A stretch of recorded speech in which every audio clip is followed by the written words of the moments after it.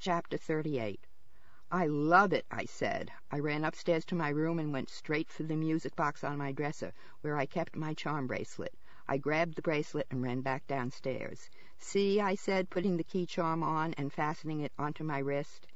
It's a key because you'll be driving soon. Get it? Jeremiah said, leaning back in his chair and clasping his hands behind his head. I got it. I smiled to show him I did. Conrad leaned in for a closer look. Nice, he said. I held it in the palm of my other hand. I couldn't stop looking at it. I love it, I said again, but it's from Rheingold's. It must have been really expensive. Page 227. I saved up all summer to buy it, he said solemnly. I stared at him. No, you didn't. He broke into a smile. Fooled ya, gullible as ever, aren't you? Punching him on the arm, I said, I didn't believe you anyway, jerk, even though I had for a second. Jeremiah rubbed his arm where I'd punched it.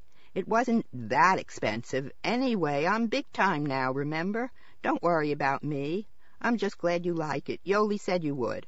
I hugged him fiercely. It's perfect.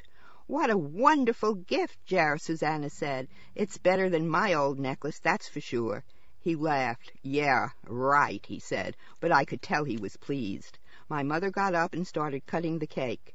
She wasn't a very good cake cutter. The pieces were too big and they fell apart on the sides. Who wants cake? she said, licking her finger. I'm not hungry, Conrad said abruptly. He stood up, looking at his watch. I've got to get dressed for work. Happy birthday, Belly. He went upstairs, and nobody said anything for a minute. Then my mother said loudly, this cake is delicious. Have some, Beck. She pushed a piece in front of her. Page 228. Smiling faintly, Susannah said, I'm not hungry either. You know what they say about the cook not having a taste for her own cooking, but you guys eat. I took a big bite. Mmm, yellow cake, my favorite. From scratch, my mother said.